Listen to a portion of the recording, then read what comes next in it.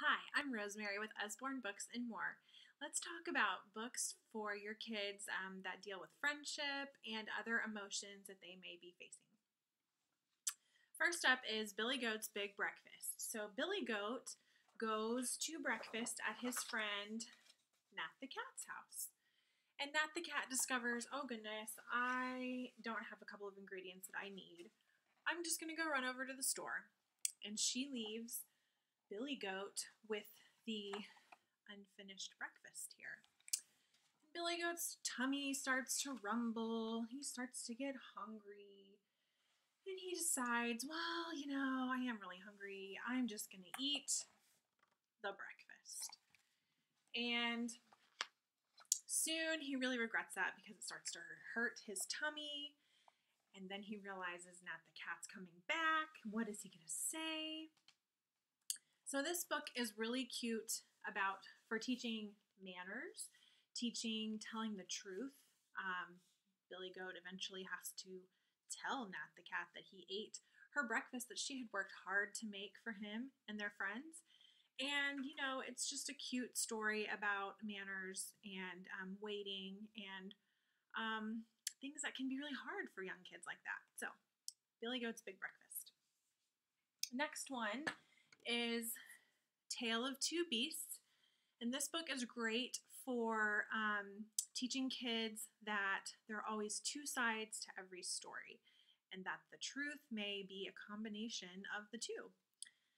So, the first part of the book is told from the girl's point of view, and she's walking through the woods and she sees this beast and she decides to, to grab him and take him home she builds him a little house and gives him food.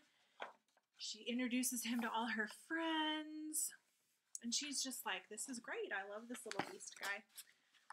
But he runs away. And she's not sure why. So the second part of the story is told from the beast's perspective. And his side of the story is basically I was just hanging out and this girl came and grabbed me and took me back to her home and introduced me all these crazy kids and made me eat weird food and all this stuff. So it's really great for, like I said, teaching kids that there are always two sides to every story. Our next book is Jonathan James and the What If Monster, and it can um, you can get a really soft, cute uh, plush toy of the What If Monster separately on the website. So, Jonathan James is this sweet little boy who is plagued by doubt and worry and is accompanied by the what if monster. What if you climb a tree and you fall and skin your knee? What if you jump off the diving board and they laugh at you and you look silly? Um, what if there's monsters in your room? Oh my gosh. So eventually, Jonathan James decides that he's not going to be afraid anymore. He's not going to have so much worry. He's not going to doubt himself. And he learns that not everything through life, going through life, is as scary and awful as it might seem. So, this book is really, really great for kiddos that um, struggle with anxiety or just worry warts, things like that. Our next book is Cordelia. And Cordelia is this girl that has amazing self esteem. She believes in herself. She loves to fly around and she knows what her strengths are. She, um, up in the sky, she would make the moon smile, dance with the stars, and laugh all the while. But then she starts to listen to people who tell her, You can't really fly, you can't really do that.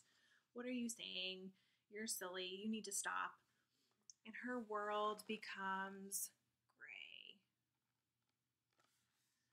And so Cordelia misses what she used to be able to do and decides, I'm going to not listen to those people. Haters gonna hate, and I'm gonna fly anyway, and I'm gonna be myself. And so she does. And off she goes. So Cordelia is a really, really sweet book for kids um, who need a little help with self esteem and believing in themselves. Really, really sweet, cute book.